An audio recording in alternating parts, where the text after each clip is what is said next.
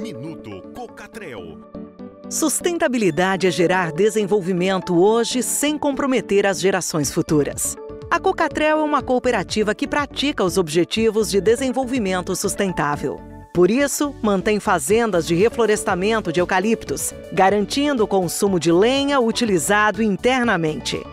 Cocatrel, fazendo hoje, preservando o futuro.